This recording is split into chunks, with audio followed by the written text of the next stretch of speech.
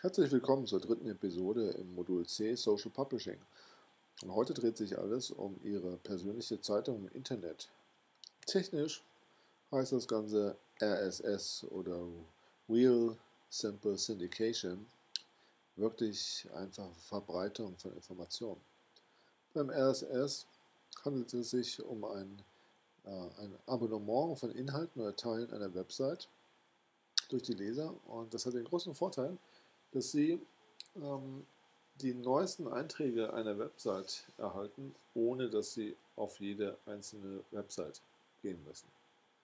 Gerade bei Websites, wo es nicht wirklich jeden Tag neue Informationen gibt, ist das sehr, sehr praktisch. Ähm, bei Websites wie Tagesschau etc. lohnt es sich vielleicht nicht so sehr. Da geht man halt einfach dann auf die Website, wenn man Zeit und Lust dazu hat. Technisch funktioniert das so, dass die Inhalte einer Website in maschinenlesbarer Form verfügbar gemacht wird. Und zwar nur der Inhalt.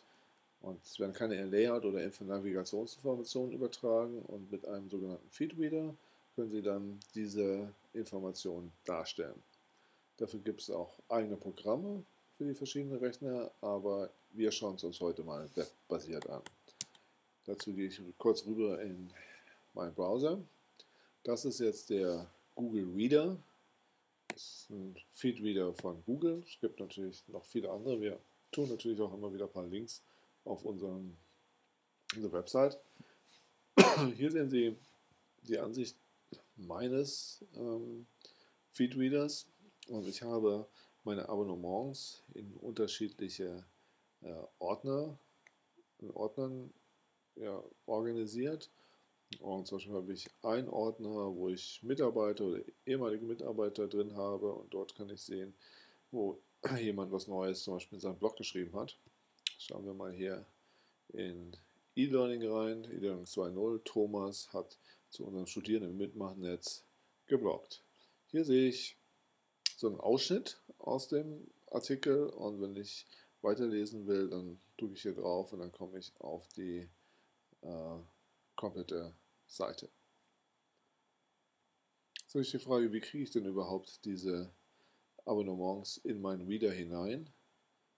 Dazu suchen wir uns erstmal eine Seite, die wir interessant finden. Ich gehe mal bei Mark auf seinen, auf seinen Blog und der hat eine sogenannte Blogroll, da kann ich wieder andere ähm, finden. Und schauen wir mal, was es hier so alles gibt. Gucken wir mal auf diese Website.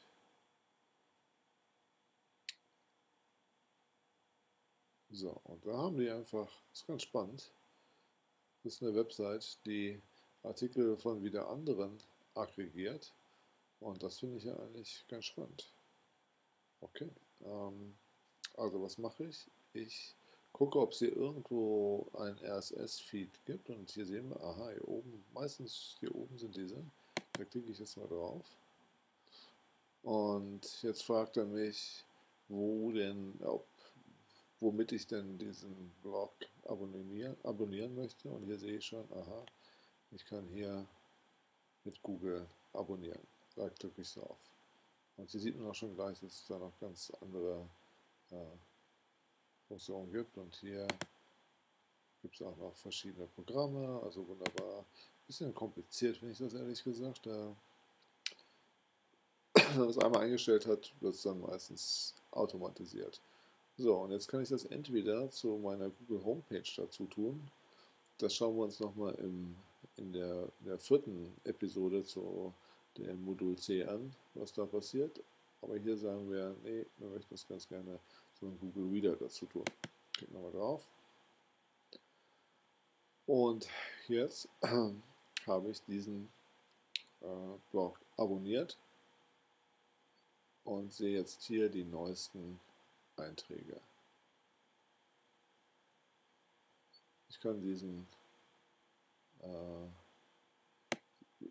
Feed jetzt irgendwo ähm,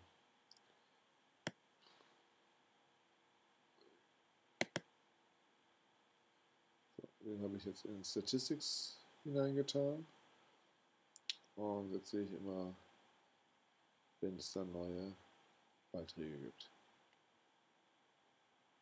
So, bevor ich mich jetzt hier drin verliere und irgendwelche Dinge finde, die ich, die ich sehr spannend finde, ähm, wollen wir uns mal das mal lieber noch ein bisschen weiter anschauen.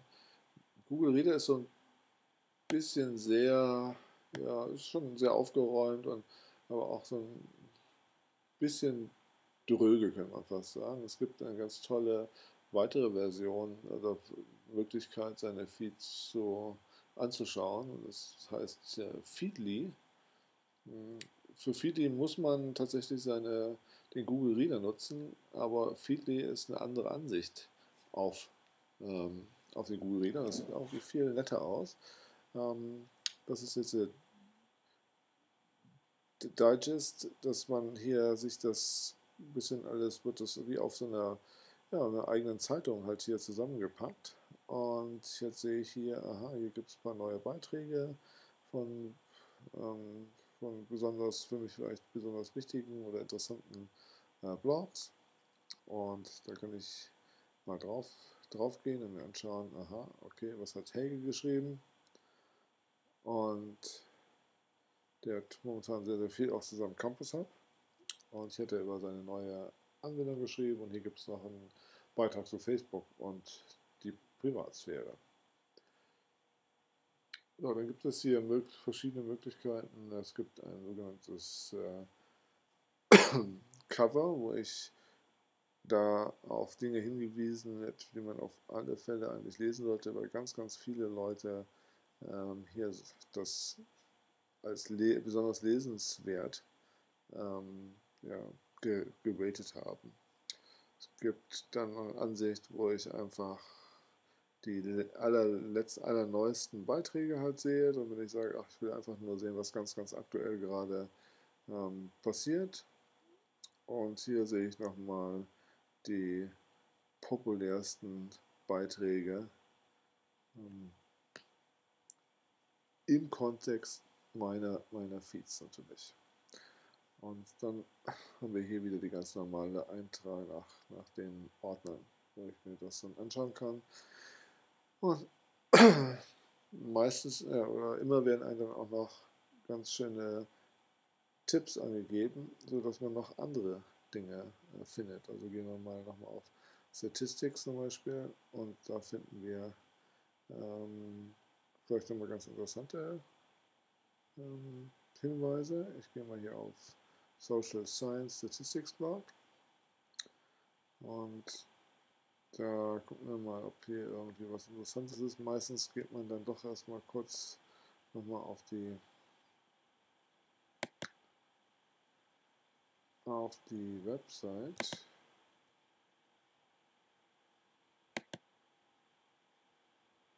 Ah ja, okay. Und guckt sich das mal an, was da so beigetragen wird.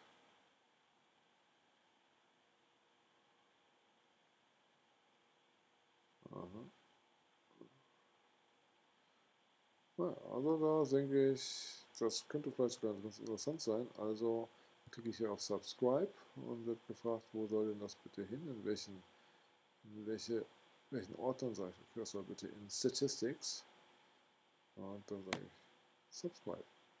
Wunderbar, und er ist jetzt hier in Statistics gelangt. Ja, also, das eigentlich soweit zum Thema Reader.